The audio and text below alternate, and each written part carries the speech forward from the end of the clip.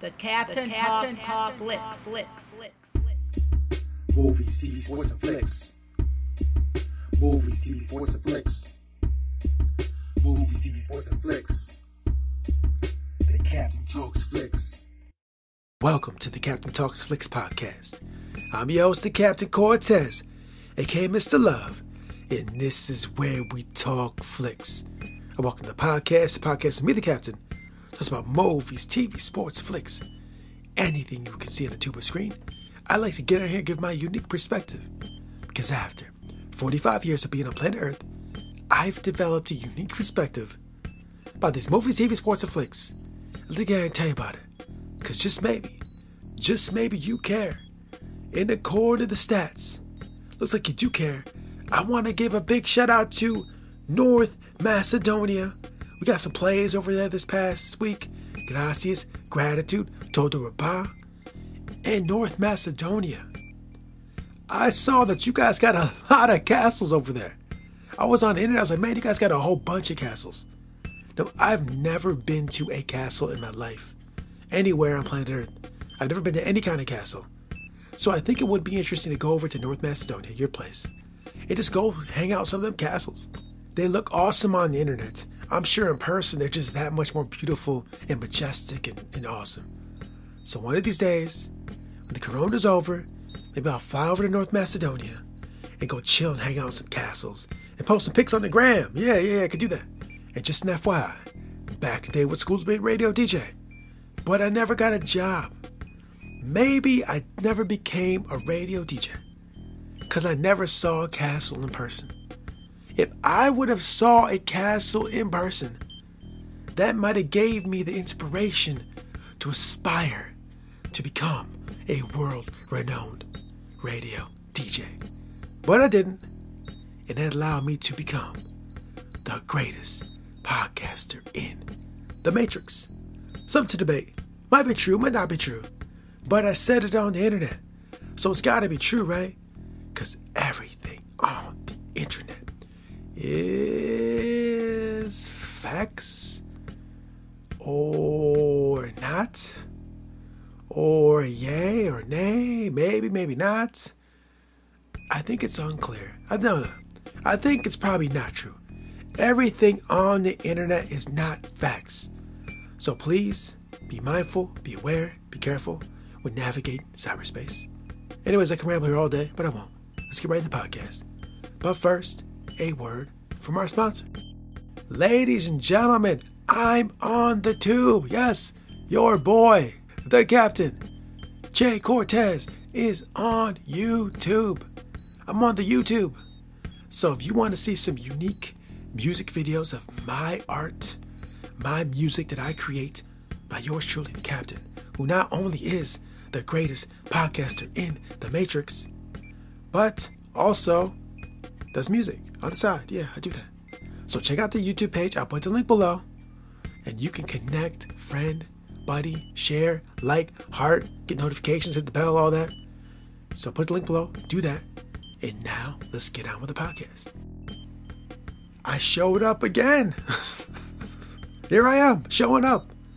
I told you guys a couple episodes ago, part of like growing or becoming better or improving is just showing up. Like I said, I, I stand by that. Like, right? I'm just showing up. Here I am again, showing up. You went to the link, you hit the play, you saw me, he's like, hey, the captain's here again. He just keeps showing up. Man, he's very dependable. I never used to be. I am now.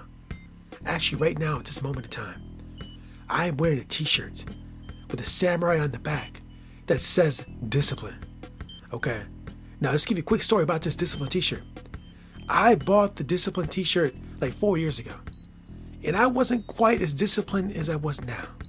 But I was putting the idea out in the universe as an idea to to, to look towards and to as, as a goal to master discipline. And now I'm further along in mastering discipline than I had in the past. When I had the discipline shirt on, I had a little bit of discipline. Now I got more. Something to aspire to. Put it out in the universe, and here I am with my samurai shirt that says discipline on the back. Because discipline is something I look forward to. And part of that discipline is just showing up. And here I am again, showing up. So, hey guys out there, you want to do something, accomplish something? Just keep showing up. Just keep doing it over and over again. and you will get better, get skills, guaranteed. You will improve. Listen to episode one of this podcast if you don't believe me. And then once you hear it, you'll be like, yes, Captain, you kept showing up and I see it did work for you. So, anyways, here I am again, showing up. And I just want to tell you guys, this week, actually a couple days ago, I got to see the movie Dune. Dune, D U N E, Dune. Dune. I think they call it Dune because it takes place on sand dunes. I'm not really sure why they call it Dune. I don't think they used the word Dune once in the movie. I don't think one character spoke it. I'm not even sure why they call it Dune. I think it is because there's lots of sand in it. I don't know. It looked like it looked like the Middle East in the movie a little bit, honestly. But anyways, it, but anyways, enough about that. I just want to say that Dune was a really good movie. The visuals were so stunning and spectacular and beautiful and elegant and awesome. And the, the special effects were fantastic. I thought the spacecraft and the machines looked real, right? A lot of these machines and cities and spaceships look real. Like I could walk out my door and see one flying in the sky. That's how real they look. These were some great visuals. My buddy was saying the cinematography is great. Agreed. It is fantastic cinematography. For sure, definitely. Visuals were so beautiful. It was like two hours and 30 minutes or something, but it didn't go, it didn't seem long. It was, it was really good. It's really well done. And one thing I want to talk about about the movie, I'm not going to spoil the movie. I'm not going to go into details about the plot. I'm not going to talk about the books because I never read the books. But I'm going to I'm going to focus and circle on one thing. So spoilers if you haven't seen the movie. The lead character, the young guy, I can't remember his name right now, forgot. But um, he has um, he almost has like psychic abilities. I think maybe or special abilities. He can use his voice in a way to to command people to do stuff. So use your voice. And he also has like dreams and he can see things or whatever, right? And then one of the scenes, he's just sitting somewhere like he's in a tent or something. He's just seeing like images. And when I saw that, I'm like, I'm not psychic. I don't have special mental abilities. But I totally could relate to that. You ever been somewhere just sitting there? Just sitting in space, just sitting waiting somewhere maybe. And all of a sudden you're seeing the past in your mind, right? Like you see past events in your mind, just up in your mind, just seeing them.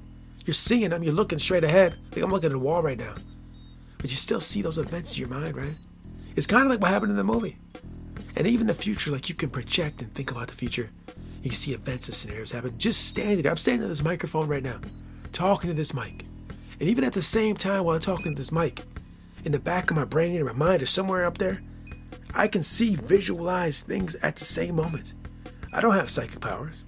I'm not. I'm not a psychic or um, uh, special abilities. It's just how the brain works. And it's not when I saw that movie and he was doing that.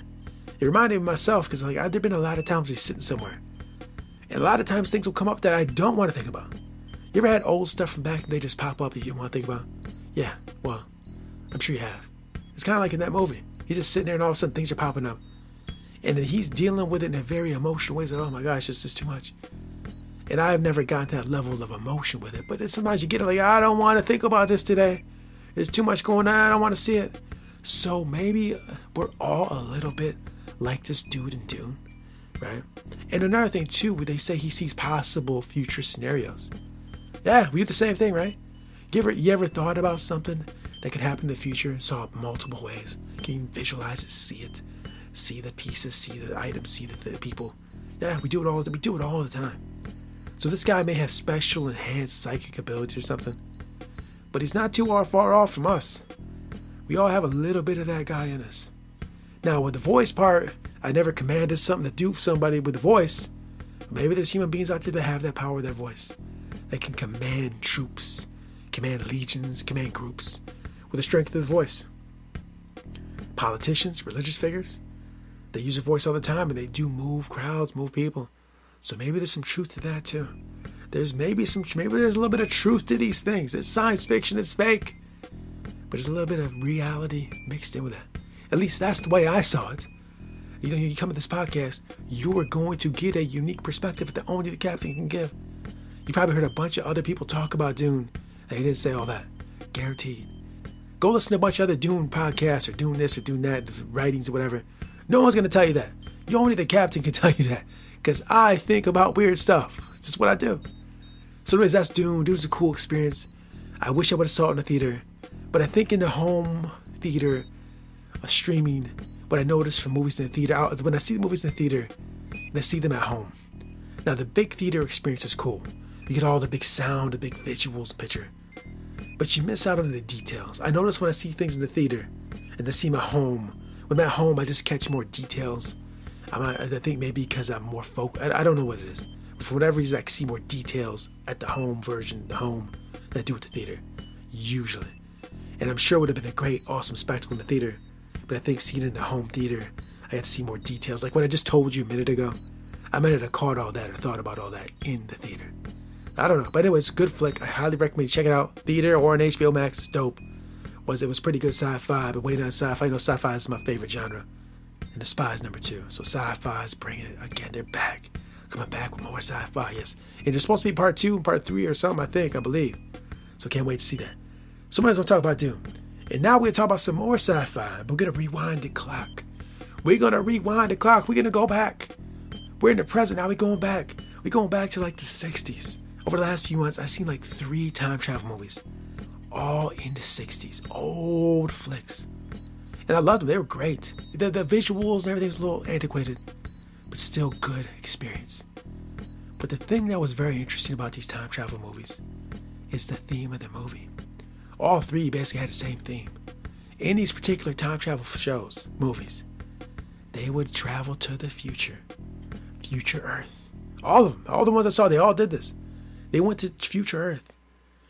And every time they got to future Earth in all the movies I saw, the three movies I saw, Earth was always messed up. it was, it was messed up. It was really messed up in these movies. So they would go to the future, I remember 5,000, whatever thousand years in the future. And Earth was always messed up. And then the people in the future would always tell them this in the movies I saw. Say, you need to go back to Earth. Your present Earth, your current Earth, your current timeline, where you're from. You need to tell them, slow down, slow your roll, because if you don't slow your roll and start acting right, Earth's gonna be messed up. That was the theme, that was the lessons back in the 60s. That was where the minds and the writers were at back then. Now, 2021, I would say that's a pretty good lesson to know. So, yeah, a lot of those old flicks would have that theme. It's very interesting to see where the writers were at, the minds were at about the time. How they feared the future would be messed up. Now it would be interesting if those same writers, same same people from the 60s, could see how we're living now and think, hey, we were right, it's messed up. or they think, eh, it's not that bad. I'm sure some of the people that wrote it were involved are probably still alive. I'm curious what their thoughts are. Very interesting to see what their perspective is. But um, that was the kind of running theme in these sci-fi flicks. Now, because I'm in the current time, I don't know if all our current sci-fi flicks are like that. Although it does seem a few years ago, there's a few different sci fi flicks that were very similar in style and theme. I can't remember the names of them, but they seem to have the same theme, style, look. I should go back and watch a few of these to see if they are very similar. Because I want some, looking back at the 60s sci fi time travel flicks now, I could see that. Almost like the same plot. But they're still dope, though. And, and, and one additional thing the only reason I was watching these is for my entertainment, obviously, but also it's research. The time travel album's coming. December 25th, 2021. It's coming. Time travel's coming. I'm still working on it. I'm doing research. so that is all I want to talk about this week. Dune is dope. And we're all a little bit like the Dune character. Time travel movies from back in the day. Were they a warning to the future? Are we in the future now? Is the future messed up? I don't know. So that's it. That's all I want to talk about. And until next time, we'll see. Nobody owes nobody nothing. You owe yourself. Rocky 3. Until next time, stay Captain Peace. The Captain, the Captain talks, talks flicks. flicks.